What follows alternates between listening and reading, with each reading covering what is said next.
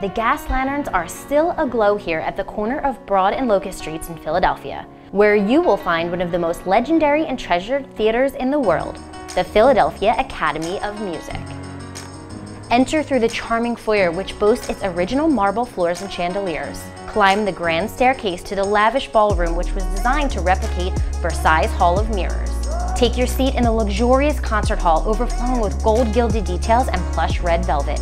Don't forget to look up and admire the glowing original chandelier adorned with 30,000 crystals. I invite you to join me at Philadelphia's most fashionable evening of the year to experience your own personal fairy tale moment the 161st Anniversary Academy of Music Concert and Ball.